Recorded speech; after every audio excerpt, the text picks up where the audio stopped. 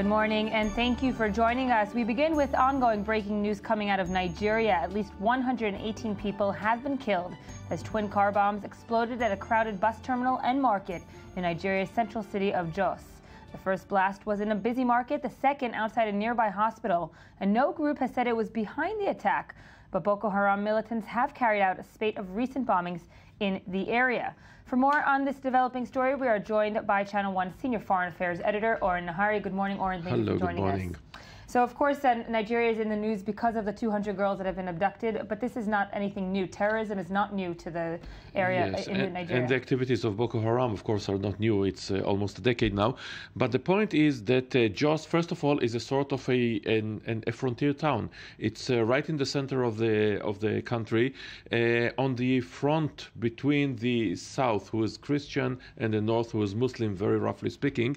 And uh, again, Boko Haram. But, uh, if it is they, and uh, probably it is, they show that they are not only some isolated group within the jungles of the northeast of the country, they are capable of carrying out uh, terror attacks. They can use bombs. They can use them at uh, in towns, not only in the bush areas. So this is the worrying thing about uh, this uh, attack. And a little, uh, a little bit about Boko Haram because uh, we don't know yet if it is be- them behind the, the the attack, but they have gained in, in, in strength at least in the in the recent years. But there are many copycat groups in the area because, as you said, it's like this frontier town, uh, underdeveloped, and, and the president himself hasn't really, you know, visited it and done much in that area. Yes, well, the well, as to the actions or inactions of the president and the government of Nigeria, volumes can be spoken about Right. this. But uh, Boko Haram is very similar, if you will, uh, if you, uh, to the Taliban. They were born in the madrasas or the equivalent of the madrasas in Nigeria. Their slogan, their name is Western education is wrong, is a sin, exactly like the Taliban who fights against Western education, against Western way of thought, against Western democracy, against Western everything. And this is exactly the copycat of the Taliban in its in its beginnings uh, before it took control of Afghanistan and may, maybe even today. And this is their goal. Their goal is, and, and it's an anathema. I mean, it's not a thing that we've seen even from Al Qaeda, even from Taliban, to kidnap Christians girls and to convert them forcefully into Islam. It is something that is not done, but obviously it is done uh, by them.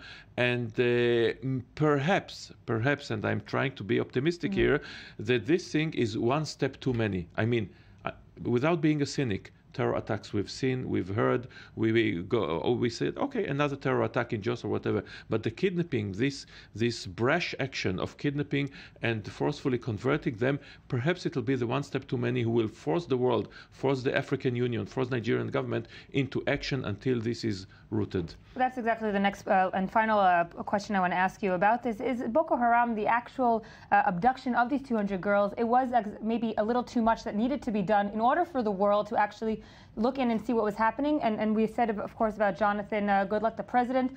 Uh, another Goodluck Jonathan. Uh, hasn't done much in, in order to even deal with Boko Haram, Yes. and this is what had to happen in order for the world to look in. Maybe is, is even the media uh, at fault here for not even uh, covering this until 200 girls were abducted?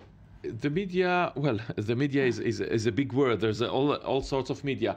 I mean i as a, as a presenter of the international hour in uh, Kol Israel we've dealt with boko haram many times and also in mali and the uh, central uh, african republic. But these are places that is very hard to bring cameras to to interview people to show face. And uh, the media needs faces and needs an, a, an event to focus on and uh, and not just uh, things that are happening uh, out there so perhaps this is the thing. And again when we are talking about the world we are really talking about the west. Right. russia and china and we'll talk about them later Right. the two cynic superpowers they don't do anything. They don't say anything. They are not involved. When we go for moral uh, standing when we go to sending troops we go again and again to Britain, to France, to the United States, first and foremost, they are the ones that we expect them uh, to do because of something. history and, and humanitarian interventions Of in the course. past. We're going to go uh, quickly to our next topic. Uh, yesterday morning, of course, the citizens of Thailand woke up to unannounced martial law imposed on them in the middle of the night. However, the military has denied it is staging a coup, claiming that the army is just trying to restore order after months of political unrest. For more on this developing story, we're going to also go to a, a, a report and we'll chat right after. The streets of Bangkok have seen their fair share of mass demonstrations and deadly clashes. But on Tuesday, the Thai capital experienced a change of atmosphere.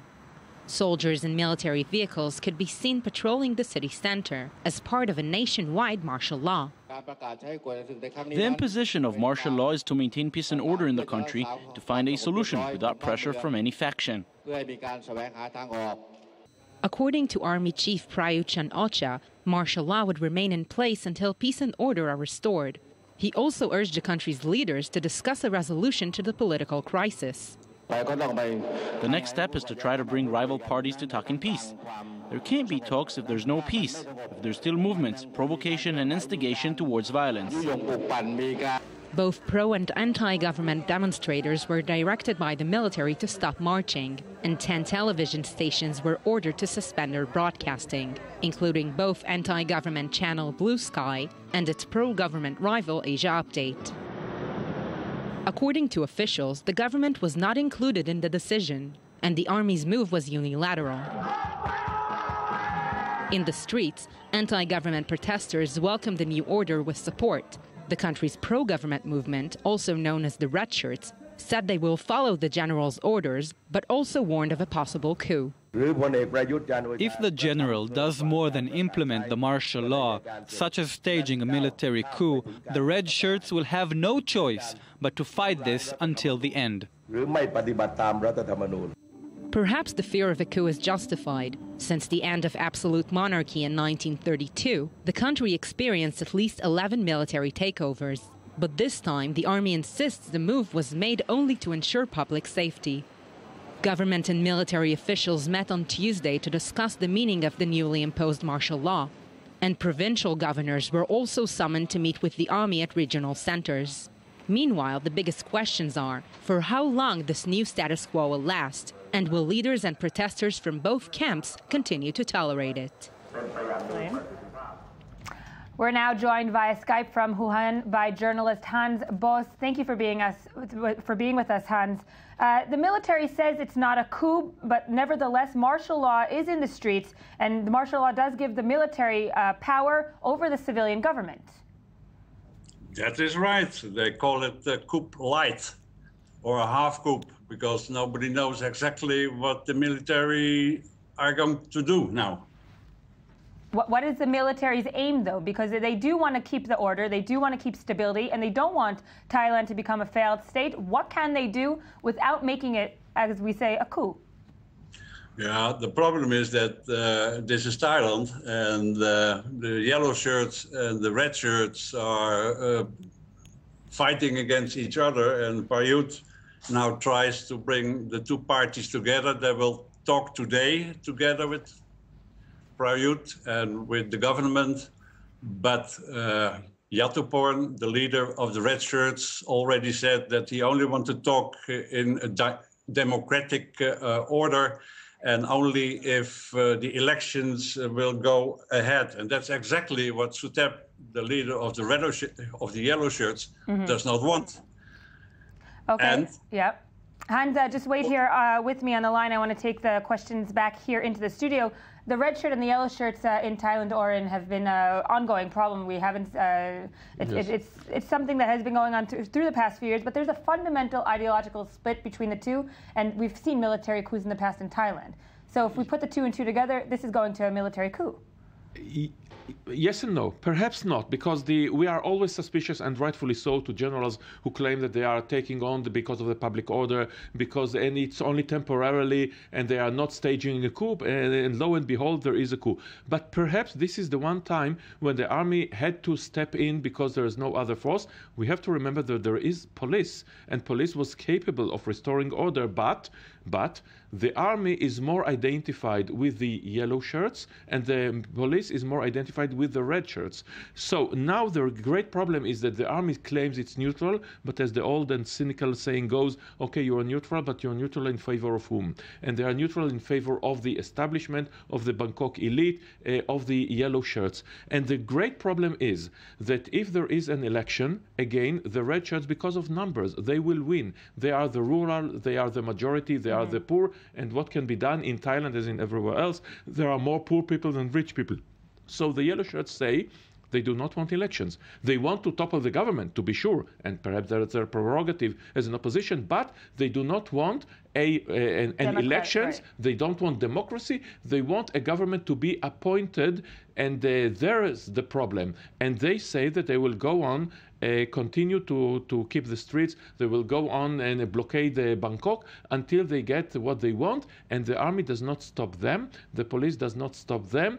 Only the red shirts. So there is growing and growing anger within the rural areas. And we'll see what uh, develops there. There is a huge problem. And Hans, can you give us an idea of the, what the mood is on the streets? We've heard that the martial order is mainly in Bangkok. But as uh, you said, it's not a coup. It's, it's mainly to, to uh, keep order.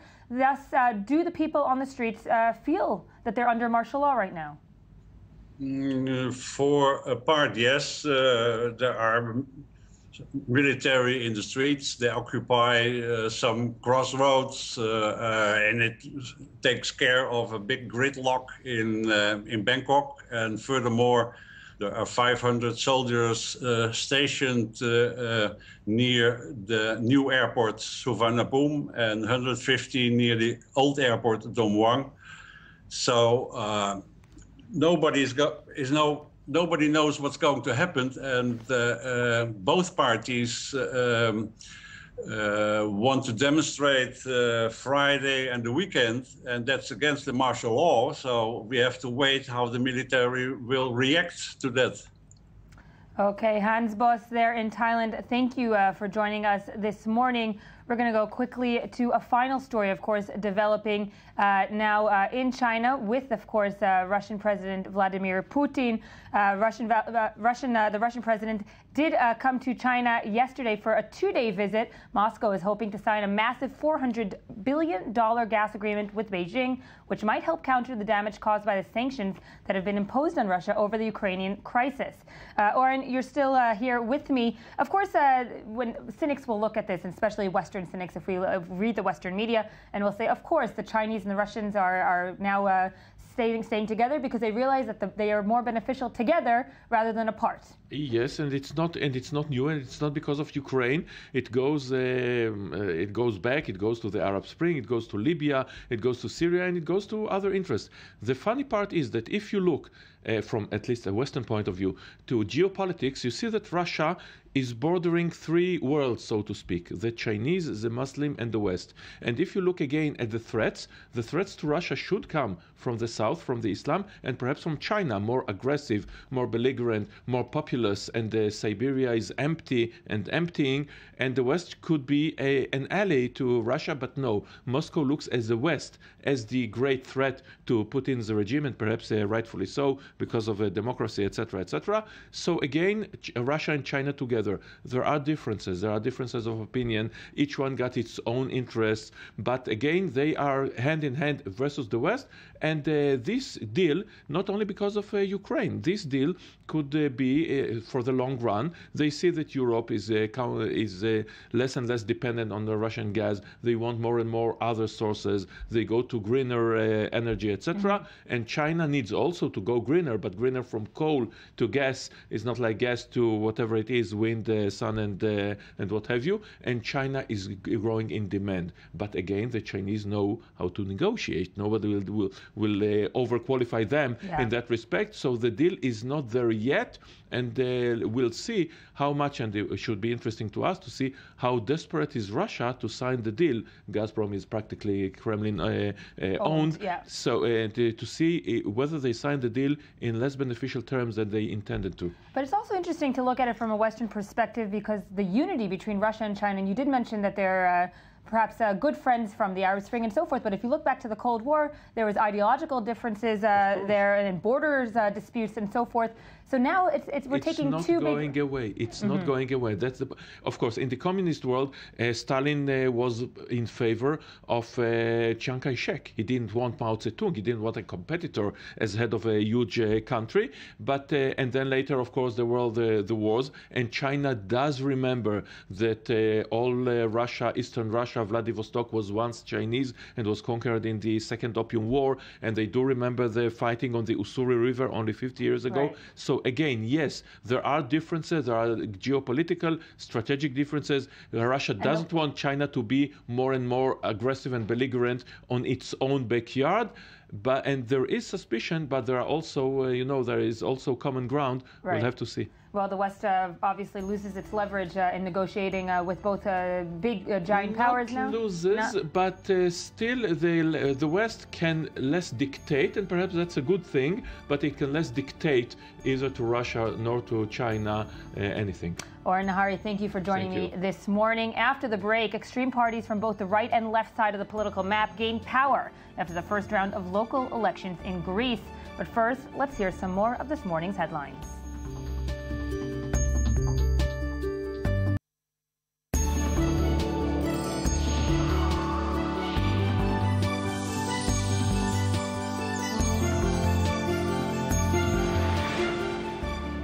Good morning, and thank you for staying with us. On to our next topic. In Greece, the first round of local elections ended with an increase in power for both the far right and the far left parties, putting additional strain on Prime Minister Antonis Samaras, who's already leading an unstable coalition. To discuss these resu results as well as their potential impact on the European Parliament elections scheduled to take place next week, we're joined in studio by Avi Primor, Israel's former ambassador to the EU. Good morning, Avi. Thank you for joining us. Good morning. Also with us is Anthony Grant, who will review for us how the international media's take on these elections have been falling out. Anthony, thank you for Good joining morning. us. Uh, Ambassador Primor, of course, uh, the, the biggest question is, is, and people are analysts are probably looking back and asking themselves, is how these parties, both from the far right and the far, far left, and we'll uh, also speak uh, specifically about the neo-Nazi parties, how they've risen in their popularity so fast. It's not a slow trend. Because they have only one thing in common, and that is protest protest votes. Things haven't gone well in Europe in the last five years. Things haven't gone well worldwide because of the uh, economic crisis. But some countries in Europe have been hit particularly hard. And there you see protest, protest against against what goes wrong. So mm-hmm. where can they protest? When they have elections any elections. They could be national elections, they could be uh, European elections, and that's how they come to express themselves. Now, the dissensions between them, even within the extreme right wing parties, is enormous. It's not one block because, besides protesting, which is common to all of them, they have very different points of view on, on the real problems. But if you take the economic considerations which uh, you're you're uh, pointing to and say, okay, there are economic uh, factors that do explain this rise in popularity, we're also talking about very uh, ideologically inclined parties. The Golden Dawn in Greece has a very neo-Nazi ideology. Is that also due to economic considerations, or can we also point to other factors, perhaps? No, no. They are a neo Nazi party. It is. Uh, I don't think there is an equivalent party in all of Europe with this particular one. Maybe in Hungary. Right. But, uh, but even there, it doesn't come to the same expression as in uh, Greece. But um, they benefit from the economic crisis. That's not the reason. That's mm. not. That's not why they're there. That's not why they they they fight for something. But they benefit from so many votes who just want to protest. So people protest very often to the most extreme because that makes the most of noise. And yes. They want to make noise and they want to protest. But I don't think uh, ideologically they have gone very far. From your experience, uh, your vast experience, of course, in Europe and uh, and in diplomacy, sometimes uh, from here, from our place in Israel, we look towards these parties and the rise of these parties, and we, we raise a huge concern. Sometimes it feels as though Europe doesn't have that same concern. They don't look at those parties as, as something that is spoiling their political uh, climate or atmosphere. Oh, yes, they do. They do. They do. Oh, yes. There's great worry about the uh, right wing parties. There's great worry all over Europe. Uh, a bit less in Germany First of all, because Germany has a certain past experience right. and people are afraid of the extreme right. Secondly, because Germany had a particular chance not, not to have a charismatic leader of the extreme right for some reason. Austria had one, uh, Holland has one, Belgium has one, France has one, and, and Italy has more than one, and, and, and, uh, and Greece and Germany always had since um, the beginning of the new right-wing parties to emerge in the 60s always very very let's say gray people who led mm. those parties. But otherwise you have it all over and it's a great worry for all of the europeans because it means instability in the european parliament and this instability will reflect on national parliaments. At least this is what they're afraid of. And there's only one cure to all that and that is to cure the um, the economy, and that means reform, and reform means risk and pain. Something that not every country is willing to uh, take on that risk. The ADL, the Anti Defamation League, has uh, looked towards these election results with uh, great concern. Of course, uh, citing that Greece is the most anti Semitic country in the world. They just uh, released their uh, survey and report. But they also are, are, worried about and perhaps the impact that it does have on Jews across Europe, saying many are mulling now immigration due to the political climate on the ground in Europe. Do you? Well, I don't agree with that. Okay. First of all, to say that Greece is the most anti-Semitic country every year you hear about another country which is the most anti-Semitic one. All right. this, this is very. coming from Abe Foxman, oh, I know, I know, I know all those uh, public opinion polls. I've even written a book about them. Uh, Listen, this is very populistic. I don't believe in that. Basically, I believe that anti Semitism is not rising in Europe. On the contrary, anti Semitism is receding constantly. Of course, you have the new anti Semitism of the immigrants, of the Muslim immigrants. And uh, you have criticism against Israel, criticism against the Israeli Palestinian policies, against the, the, the settlements and the territories and all that, which grow but these are not necessarily motivated by anti Semitism. Once right. this political problem disappears, the criticism will disappear with it. And we have seen such uh, uh, precedents in, uh, in history. We I remember the enormous protests against the Greek colonial regime. I remember the protests against France because of the war in Algeria. I remember the protests against the United States because of the war in, uh, war in Vietnam. Mm-hmm. All this disappears when the cause of the protest disappears. Same thing will be with us when we solve the problem of the territories. But uh, basically, the European population after World War II does not take on an anti Semitism. It recedes very slowly, very cautiously, but basically anti Semitism recedes, and I think that goes for Greece too. Okay, Ambassador Primor, I want to hear now from Anthony Grant. International media is looking uh, perhaps uh, towards Europe with the, as Ambassador Primor. So they are mm. concerned. What does the headline say? Well, actually, you know, of course, I, I agree uh, spot on with, with uh, his assessment about the situation in Greece. And uh, um, some of the press reflects that, the sort of fascination with the Golden Dawn, this neo fascist party, you know, mm-hmm. very reflective of the economic crisis, I think more so than anything else. And uh, you have some um, headlines which talk about how the, uh, the elections in the European Parliament are kind of like a litmus test for how things are going going to go with the coalition? Will it bring about a period of more instability in Greece, which actually would not be good because actually economically, uh, press counter saying things are starting to kind of turn around for Greece. So actually, it's a time when they need, and, and most of the Greek public actually is looking for more stability, even though there's a lot of coverage of these new political parties that are emerging. You know, there's one called Tou Potami, the river, which is run by a former journalist. He's got no policies, but he's got 9% of the vote in polls. So it's a very fascinating time, and the press is kind of trying to catch up with what's happening in Greece.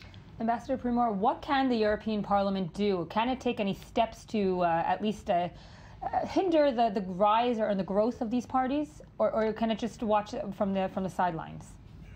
It will be a problem for the uh, functioning of the European Parliament, undoubtedly, and that's uh, a source of worry because the European Parliament is becoming ever more important, getting ever more uh, power, and intervening and more affairs, current affairs of the European uh, Union. When I was ambassador to the European Union, they used to laugh about Parliament in Brussels. Brussels, they said, okay, the Parliament, they can talk what they want, but we, the Commission, or we, the Council, we decide and uh, we implement.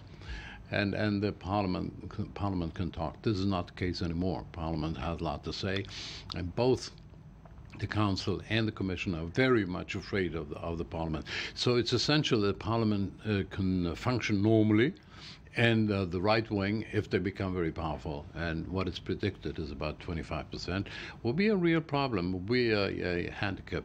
But the parliament will enjoy one thing, and that is that the right wing parties are not coherent. That there's a lot of dissensions among themselves. Right. That's why they'll probably they'll probably be weaker than their numbers would suggest. And this is the big so hope. they're still on the fringe, and they haven't, of course, formed. They'll be on the fringe because they won't work together. Okay, Ambassador Avi uh, Primor, thank you for joining us uh, this morning. We're going to have hear headlines uh, very soon, so you can stay in studio.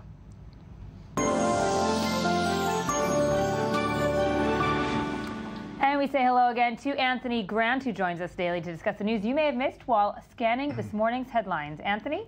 Well, good morning again. Good morning again. Um, here's a headline from the Jerusalem Post that made a bit of an international splash, um, and it's kind of a not not such a dramatic looking photo there, but you have Israeli defense official uh, Amos Gilad, right. who is the uh, head of political military affairs at Israel, Israel's defense ministry, who says that Iran can break out to nuclear weapons very quickly. I mean, this is not sort of an, an earth-shattering headline, but because of but the context, the timing, right, it's the, the timing, and also and the, the language in the article. Uh, it's it's quite strong. You know, he's he's saying in no uncertain terms that uh, no one is or uh, Israel hasn't been able to uh, to deter uh, or to prevent Hezbollah's arsenal building up, thanks, of course, to Iran uh, in no small part.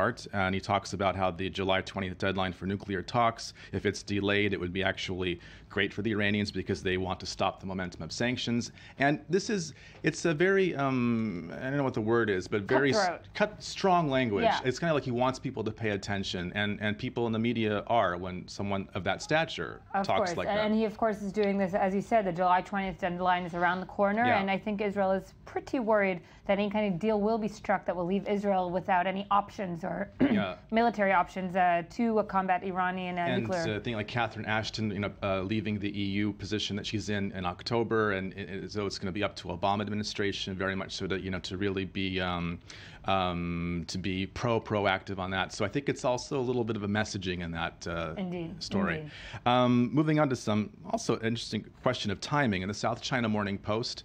Um, this is um, we have a, just a picture from a their headlines yesterday or late yesterday. China trade with Russia to hit U.S. 100 billion. I think actually I was told it's four, 400 billion. It might have been a typo on their part. Um, the president of China says after meeting Putin. So that's quite interesting to see, especially considering the, the, the friction now between the U.S. and China. So right. China's and got the U.S. and Russia, of and course. China has other friends besides the U.S. Look at that. Well, China needs to look for new friends besides the U.S. and so does yeah. so does Russia. I mean, we're so they're in the same uh, boat, right much. there. And also, there was a little headline there. Well, quite interesting, saying that the, the CIA mm-hmm. may be withholding information about Malaysian Airlines Flight 370, according to a former Malaysian Prime Minister. What kind of information? Well, I don't know because they are They're apparently, you know, it's wow. quite intriguing. This is a very serious newspaper. Uh, so again, I think we're going to be seeing more uh, about that aspect of that mystery huh. flight. Well, um, I mean, we want to. So far, we're only seeing like now conspiracy books coming out and yeah, so forth. We don't. Yeah. The facts have been long. Uh, long uh, neglected almost. Yeah, yeah. But uh, so we'll see. Interesting to see it though on the front page. Indeed. Um, going on to uh, Bloomberg, talking about the impact of the martial law situation in Thailand. Uh, it's not actually a shocking headline. Thai martial law is seen as hurting Bangkok and Phuket tourist arrivals. Well, no big surprise there. Yeah. But tourism is so important in this country. Um, they've already taken yeah. a hit, and this is going to make things exacerbate that situation. You know, it's it's interesting because uh, I know a few people that went to Thailand over the few uh, past few months when their fighting was uh, on the streets of Bangkok, Mm. and once you go out, you know, to the islands, you feel like you're in a different world, and you don't feel the fighting and it's the dissonance between Right. the city of Bangkok and, of course, uh, the the serene uh, Yeah. tourist attractions of Thailand. and of are- course huge. it's it's largely calm from press reports but you know you hear the word the words martial law and it makes travelers skittish you know you know they might choose other destinations and Right. that th- those decisions translate into less, um, Less- currency yeah, you know less so investments coming in. yeah and speaking of travel as well we have a headline from Globo a big Brazilian newspaper uh, about Sao Paulo 40% of the districts of this huge Brazilian city have homicide rates which are spiking to above 10 per 100,000 residents Wow. now, this is coming, you know, ahead of the World Cup. Uh, some of those games which will be played in, in Sao Paulo, and again, they're having a lot of problems ahead of these games: uh, crime, um, environmental issues. So this is just add this to the mix. Oh, and wow, yeah, that's something going to be hard to get those statistics down before the World Cup. It's right around the corner. Yeah, I mean, actually, in Rio de Janeiro, they're printing out brochures of like what to do when you're mugged. Not like if, but when. When. you know, don't make loud noises, et cetera, et cetera. So they're trying to kind of alert people to uh, the problems they might encounter oh, down there. That's so, a sticky situation. Yeah. Also in Cairo, Al Ahram reports that uh, Egyptian universities are going to be closed from the 22nd to the 31st of May because of the uh, election and uh, apparently attempts to avoid the kind of situations that have been happening in the past couple of days with confrontations. A student uh, was reported to be uh, shot on Tuesday and killed at the University of Cairo in a scuffle. Uh, so again, tensions building in Egypt ahead of the election so, coming up soon. and the Egyptian authorities decided instead of uh, trying to tackle uh, the protesters, let's just close down the university. Yeah, you know, it's like you know Bassem Youssef, the, the, the talk show host, yeah. very pop. You know, he's just off the air. Yeah. You know, for the month of elections. To it's a very um, preemptive, we could say, approach to. Preemptive is is a nice diplomatic, diplomatic word. word. So and anyway, very quickly, uh, Libération, a French newspaper, reports that things are looking up in Iraq. That's basically what that headline says. Mm-hmm. They interview a professor uh, Baghdad who says that uh, Nouri al-Maliki, who was recently reelected, has actually helped to prevent civil war from, you know, becoming a, an engulfing problem there. So it's kind of a uh, an upbeat piece about Iraq, of all places. Yeah. For now. For now. For yeah. now. Anthony Grant, you'll be back with some more headlines right. from the web. See you.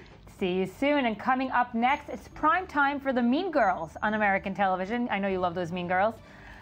But first, let's hear some more of this morning's headlines.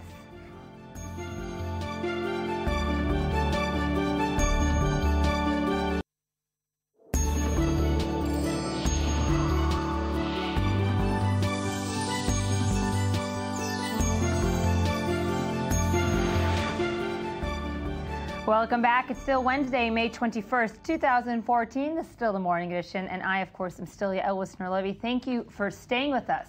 So we have Selina Meyer on Veep, Claire Underwood on House of Cards, and Olivia Pope on Scandal. Television's prime time is now full of powerful women who also have quite the mean streak in them. For more on these gorgeous villainesses, we're joined in studio by Ynet America's journalist, journalist Roni Stav. Roni, thanks for being with us. Thank you. So, you know, it is, it's interesting how the trends in television have uh, really yeah. taken over American primetime, and it right. is about powerful women.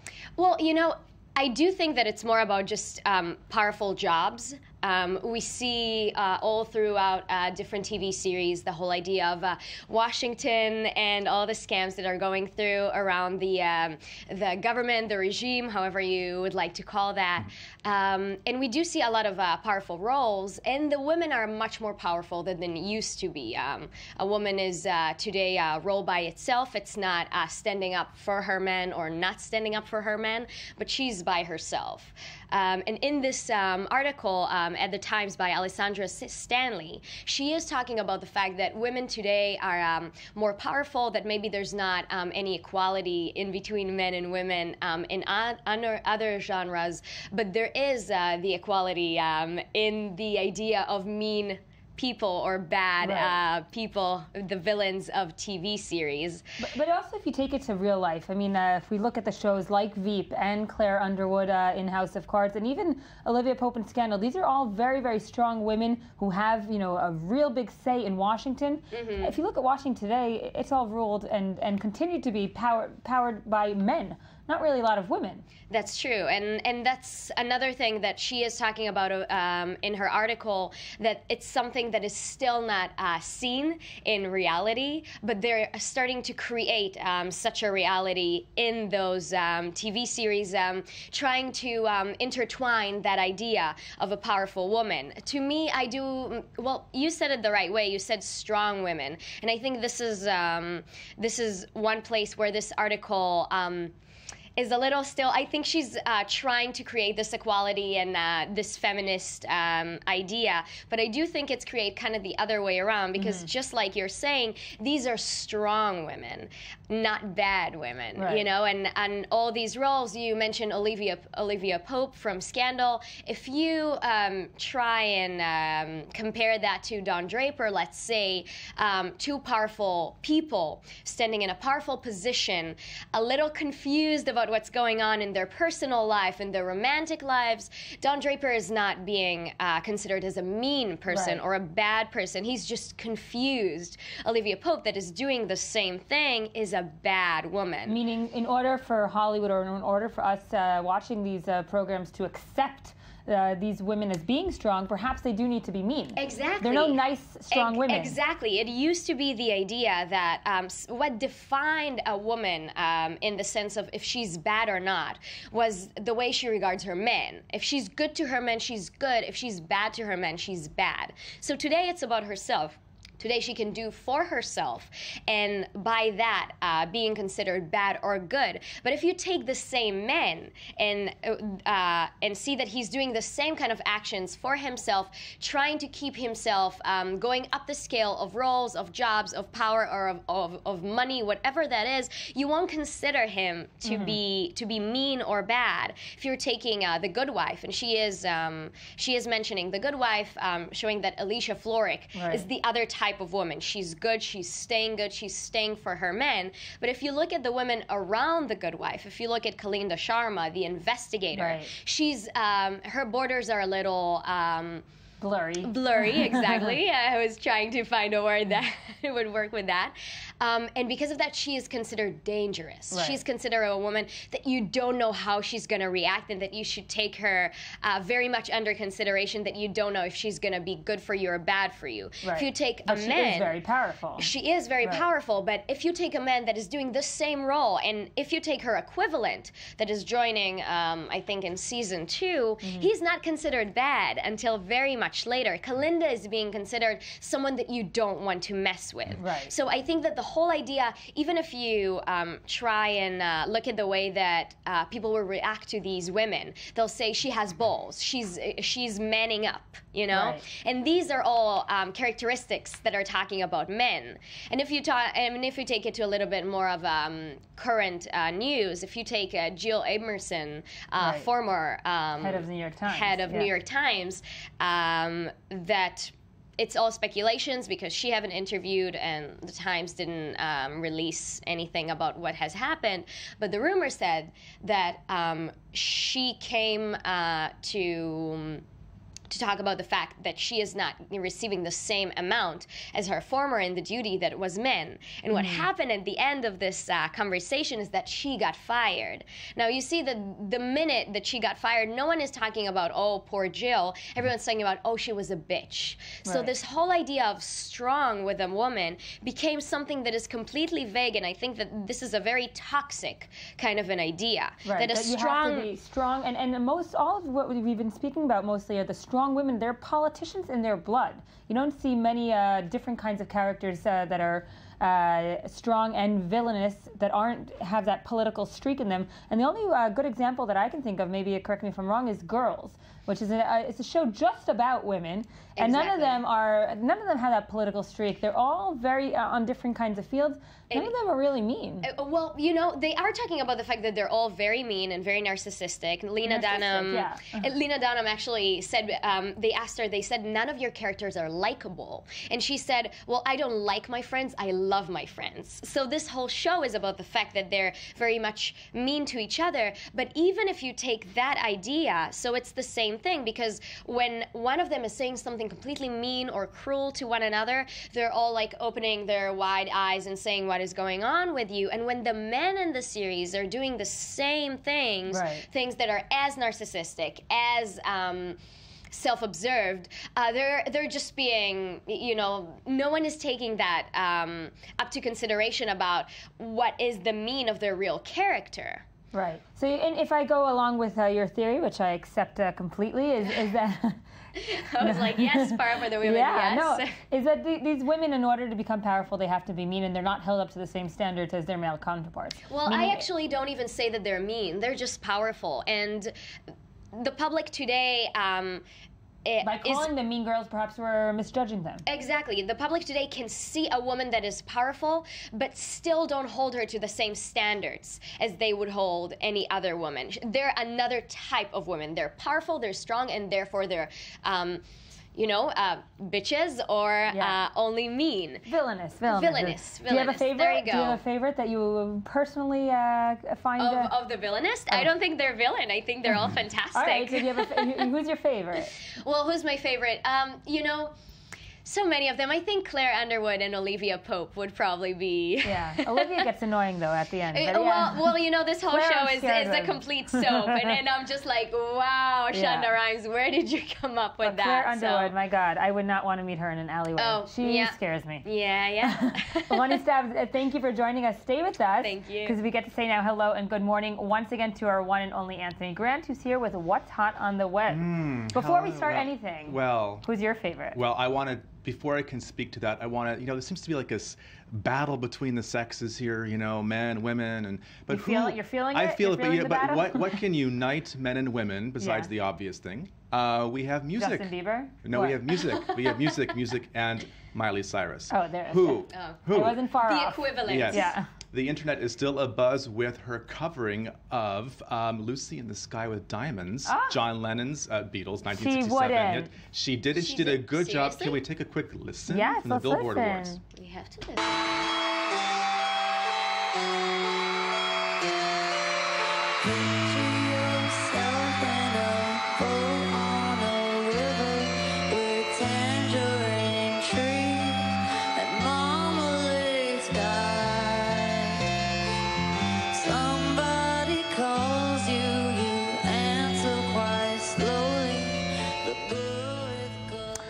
You know, out, out of respect to John, she covered herself up this time. Yeah, she covered herself up. It was, you know, it was a great. She was with the there with the flaming lips there in Manchester, and you know, I think you know she's 20, and it's amazing that she's taken this on because to cover a Beatles song, you know, in, in that fashion, it does it takes balls, I think, and I think she did a great job. Good. I'm ha- well. She's trying to perhaps uh, tweak, twerk her image. Yeah, to up twerk it or Up something. it, yeah. Speaking of image, remember um, Kim Kardashian and Kanye West on the cover of Vogue? I do. Well, they've set off a trend. Now we have Spanish Vogue with that on the cover. Oh. Now we've got their uh, Real Madrid soccer player uh, Cristiano Ronaldo Wow. and his I mean, Russian we see model a little wife. bit too much of Ronaldo, no?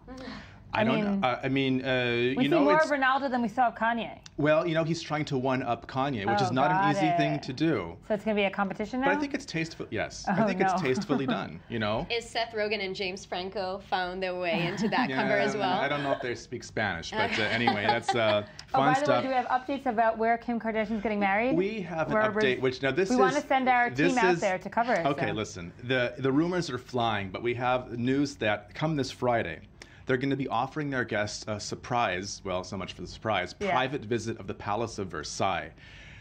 You know, Oh. for their they're not going to get married there. Now, I have I have to say here, Kim is so it's a, highbrow, huh? This is a little, it's highbrow, but it's a little problematic because wasn't the whole thing about Versailles historically that people were sort of kept out and then they kind of had a revolution? Yes, So something I, like that. I think Americans are going to be a little bit taking this the wrong way. I mean, I'm excited Versailles that Kim private. knows where Versailles is. Oh, I mean, listen, I'm sure her geographic knowledge knows no bounds. But, you know, no bounds. but. I mean, you know, they, clearly the pair love Paris and that's great. But I think they should open up their wedding to But she's everyone, showing you know. the and- Versailles as like this is going to be my future home, or well, you know they're going to get a lot of decor and design ideas. I think they already have like a gold-plated toilet in their Beverly Hills mansion or something way. like that. Something to that effect. No way. And Versailles is all about the gold. Yes. Yeah. Well, she and Sarah Netanyahu can have a whole discussion Ooh, about I can't Versailles speak to that, but, but I know they both like home decor. Uh, they, they're Candles? both very uh, Candles. vanilla patchouli very candles? appreciative of. I don't think Versailles had vanilla patchouli, but I know that Marie Antoinette was a favorite. Uh, she liked um, what's that? Um, violet. It was a very uh, nice fragrance. Well, uh, Yeah. Sarah Netanyahu likes her patchouli. Well, I think Kim Kardashian is having a Marie Antoinette moment personally, but Yes. we'll see what happens as the We will. nuptials approach. We will. Mm. We'll on a, on a that. more, a more inspirational note, our own i24news.tv uh, ran a story about Israeli blind golfer, war veteran Zohar Sharon, 61 years old, who won his fifth World Blind Golf Championship this past weekend in Australia. Amazing story. I actually have the pleasure of having met Zohar when he was Wow. uh, playing golf out in Palm Springs, California, a couple of years ago. And the article doesn't mention, but very instrumental to his, not necessarily the golfing, but his life is the um, guide dogs. They come from the Israel Guide Dog Center for the Mhm. Blind, and they're beautiful golden retrievers. And it's just a nice story to see that he's out there and, you know, making the athletics Indeed, work for indeed. him. That's a good.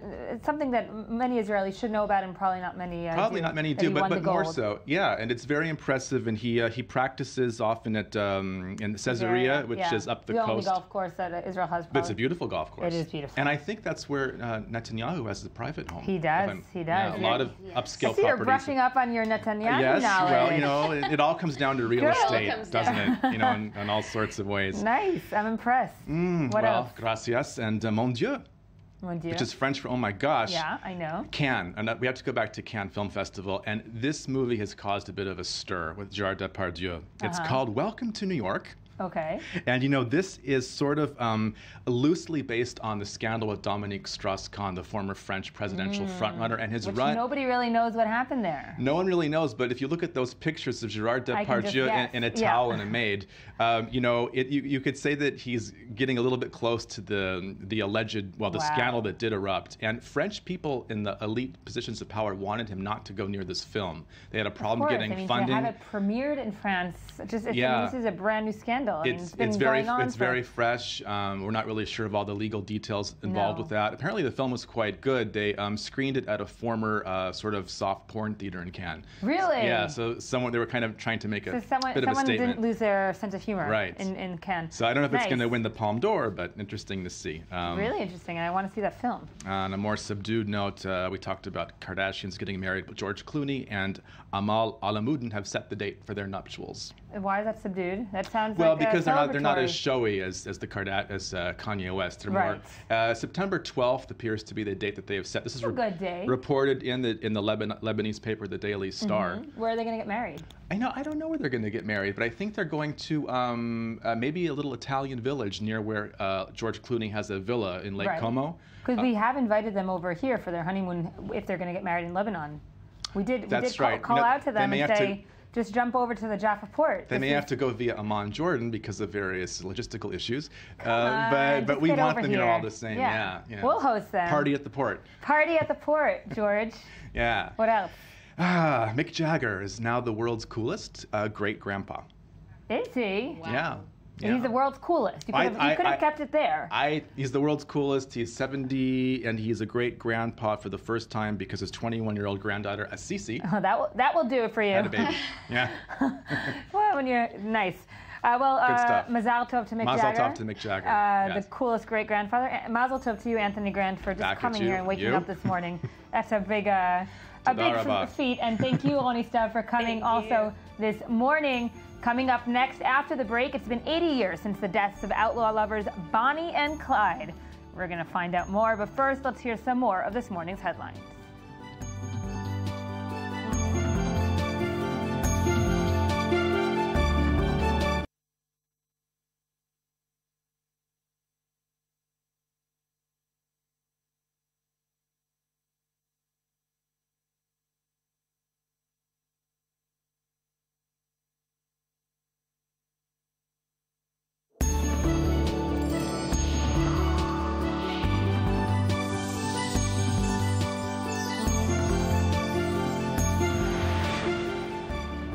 Good morning, and thank you for staying with us. We're joined now in studio by the I-24 News correspondent, Gabby Tatarovsky. Hi, Gabby. Hi.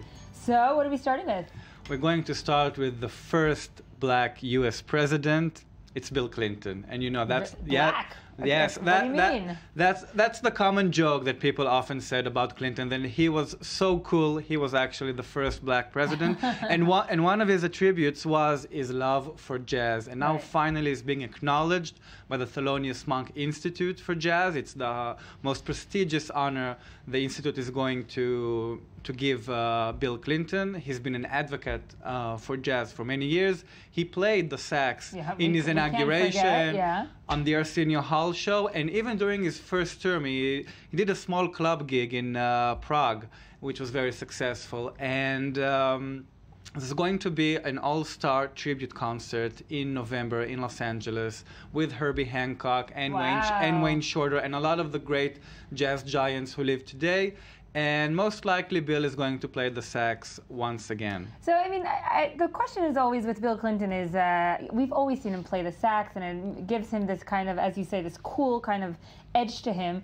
My question is, is he really good at jazz, or is it one of those things that oh he knows how to play uh, saxophone, so and he's president, so it, you know it looks it's it's good for the image, perhaps better for mu- than it's music. uh, it's a great publicity stunt, but he ha- he's actually a very good musician. I mean, he, He could.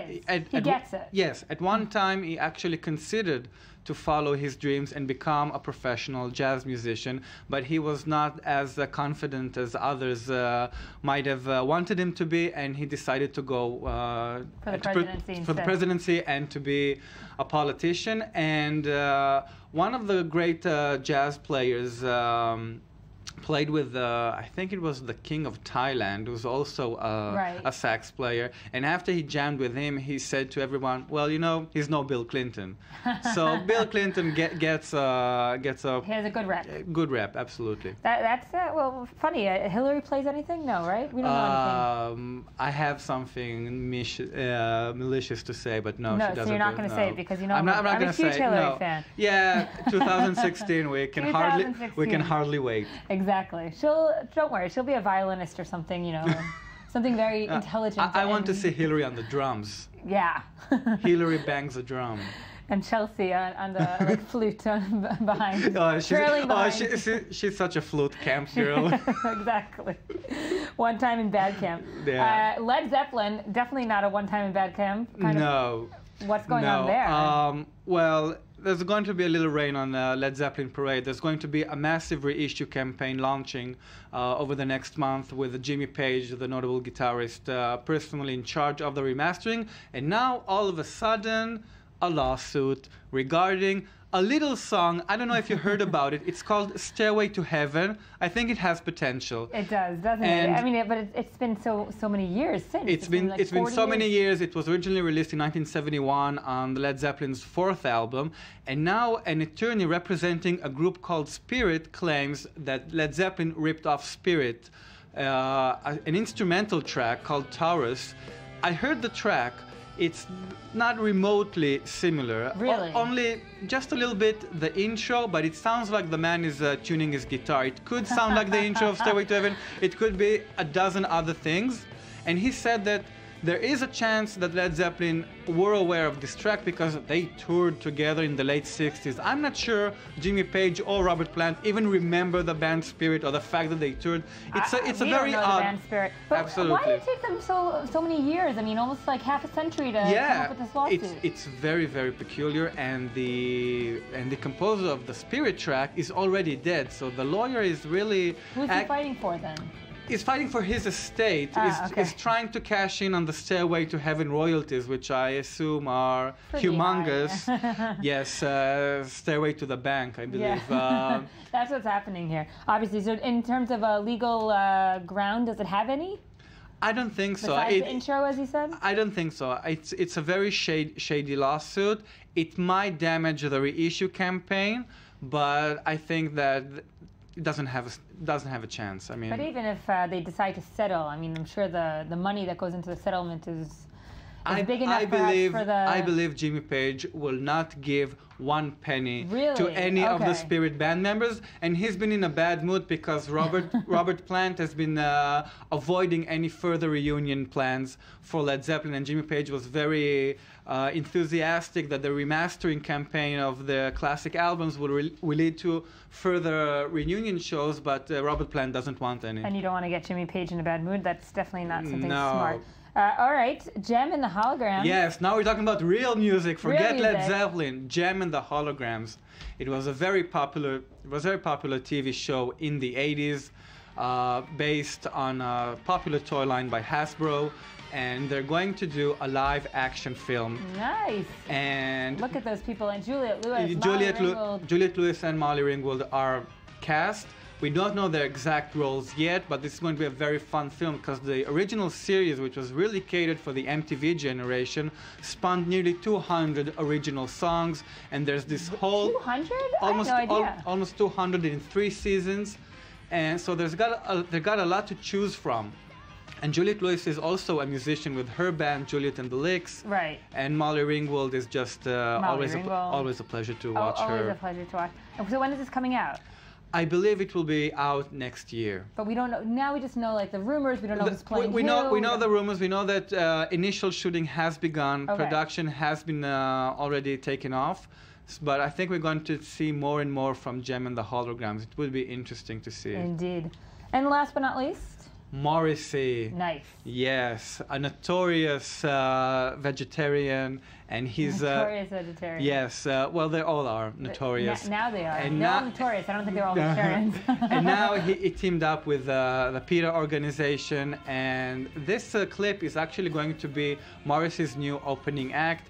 The video, which condemns uh, farmed caged kitchen, uh, chickens, Right. is going to be screened at every show of Morrissey so it's like their video art uh, during the show. during the show with uh, a Morrissey soundtrack with one of his songs, hope, hoping to get awareness to the cruel state I of mean, I'm chickens. seeing it. We're seeing it now in split screen. It definitely does uh, bring it's, awareness. It's, it's cruel, but Morrissey's lyrics, and Yasmin can back me up on this, are much cruel, crueler than the reality of any farmed animals. I mean, the guy knows cruelty. Uh, and and the, the the name of his upcoming album is uh, goes does coincide with uh, this video art. World peace is none of your business.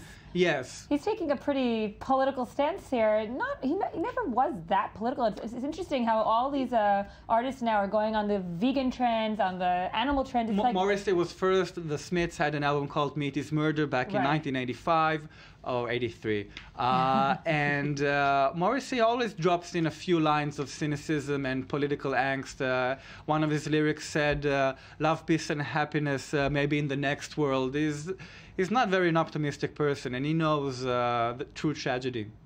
When the uh, PETA spokesman uh, spokeswoman said the best way for anyone to celebrate Morrissey's birthday is to go vegan, not someday, but today. So everyone Yeah. wins from this little collaboration of uh, Yes. video art. I'm gonna eat a except for bacon the butty. chickens. Except for the chickens, of course. Any ch- you're not vegan though, No, no. and this won't convince not. you. No. Morrissey So- so- sorry, Maz. Sorry, Maz. No bye. no bye. Not even your chickens can uh, convince me. No. Uh, Gabby, stay on because we're going to take a look back and see what happened on this week dozens and hundreds of years ago. We, of course, are joined by I-24 News correspondent Yasmin K. Hi, Yasmin. Hello, how are you? You're not vegan either. are I'm not. No, I was actually just saying I'm going to have a bacon butty in honour Oh. of Morrissey. Oh! Yeah, I think for every animal he doesn't eat, I'm going to eat two. I'm going to up the meat intake. Oh wow! Oh wow! And, and when Yeah. you start touring, you know you can do different video art and make sure to contra uh, the chickens and, and well, so I forth. only eat free range, which makes it better somehow.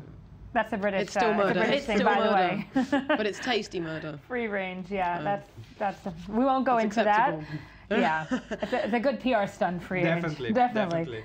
Uh, yes, so um, as you said, this week in history, uh, first item I want to talk about is the famous death of Bonnie and Clyde, one of the most Infamous famous. death, Yeah, infamous death. Thank you. Uh, one of the most famous crime duos um, of all time, I think. Uh, so they died in a bloody shootout in 1934. Um, this was over a few years of them basically collaborating on a life of crime. Uh, over five states Wow. Texas, Oklahoma, Missouri, New Mexico, Louisiana. They killed around 13 people. I mean, what we forget, despite the kind of glamour That- of uh, the kind it. of Like, gangsters nope. mall, the photos that made them very, very famous, you know, Bonnie posing with a cigar in her mouth, all of this kind of stuff. They actually killed 13 people, Because including I mean, you, nine. you say um, Bonnie and Clyde to someone today, and, and they think of you know the glamour. They forget Mm. that they were actual people in the 30s. As Yeah. you said, a woman in the 30s uh, running around uh, the south of the United States and killing people was Mm. not something uh, you saw every day. No, and not they were at all. criminals. They were They criminals. were criminals, but they actually harboured dreams. Um, I mean, Bonnie, I guess, would have been happy to have been immortalised in the 1967 film Bonnie and Clyde with Faye Dunaway playing her. She wanted to be a movie star. In fact, uh, when the police actually recovered some of the cars used in their robberies, she'd left her movie magazines. Well, In the there back you go. Yeah, and, And- and uh, you know who Clyde wanted to be uh, a musician. He did. He did, yeah. Well, he actually asked for his guitar they back. Want. They're like, you know, they're they're living celebrities even today, and and I guess what uh, tests that most is, of course, uh, Jay Z and Beyonce's song "Bonnie and Clyde." Mm. You know that song. I'm gonna nod and go, Okay. mm, yeah. But making, making yeah. my, my point is, of course, is that criminals uh, such as Bonnie and Clyde have become uh, cool, and people forget that they're actually were Yeah. criminals. No, completely. Completely. Moving on. okay, so moving on a little bit further back in history, back in 1873, uh, Levi Strauss, way back. and Jacob Davis received the patent for the first blue jeans. And became millionaires. Yeah, I mean, this was a great collaboration between a kind of relatively well known San Francisco businessman, Levi, uh, Levi Strauss, who was Right. approached by Davis, who was a tailor who'd actually developed, um, you know, a new way to make uh, jeans stronger by introducing the now famous metal rivets on the stress points. But he couldn't actually have, um, he didn't actually have enough money to finance the whole process. Right. So he approached uh, Strauss, and together they developed what became uh, known as the Levi uh, 501s. 501s. Which are now worth, I think, an original uh, pair are worth nearly two hundred thousand dollars. Really? Yeah, from Who I mean, knew? Obviously from eighteen seventy This is huge rags to riches story. I remember, you know, when you study uh, American history, Mm. uh, one of the biggest anecdotes of, of the, the California Gold Rush and so forth, and Oregon Trail, which is a ancient computer game, which I won't go into, uh, Oh, is all. that. You remember that? I do. It's all about the the sturdy jeans that the miners could use to go down and mine, and that's how it Mm. started. It was complete, you know, uh, Yeah, technical, logistic kind of uh, wear, and became fashionable, of course. Yeah, and obviously became something completely linked to Right. America. I And mean, Levi just thinking of the album covers with an jeans. immigrant to on- California and, and became, of course, uh, super rich. And Yeah, and a philanthropist as well. He Oh, was yeah? actually really well known as a um, uh, philanthropist. He established uh, scholarships at the University of California, um, and he was really well known, well liked, and well respected in the city. So Nice. that's nice. What else? Yes.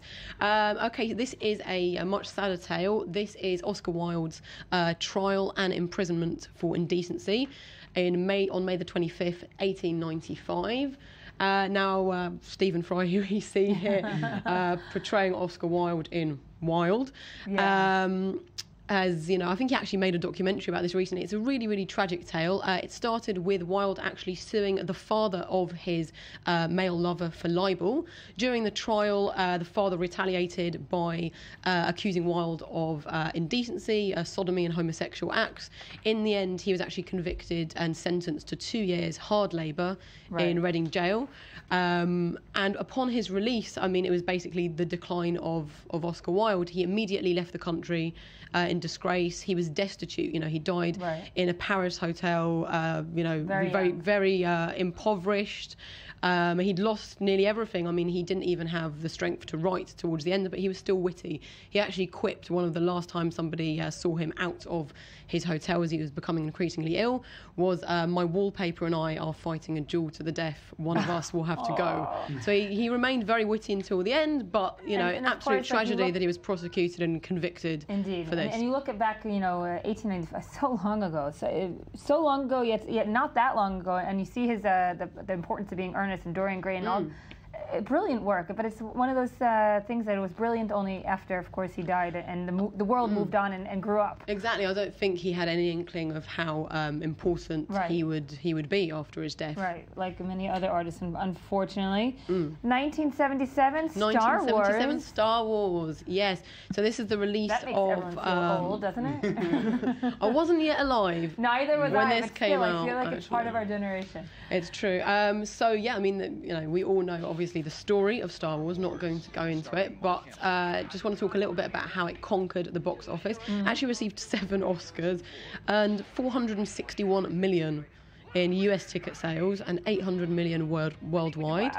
Um, I don't want to talk about the new Star Wars Yeah. films. There are, you know, Are you, are you a fan of the old Star Wars? Yes, but I've been in pain since 1999 when um, You- when the Phantom. Menace was released. So instead, I wanted to give you a few quick Star Wars facts. Jabba the Hutt was originally intended to be furry. I only found this out recently. Furry Jabba the Hutt. Ah. Yoda has a different number of toes in each Star Wars movie he appears in. Yes. Who counted?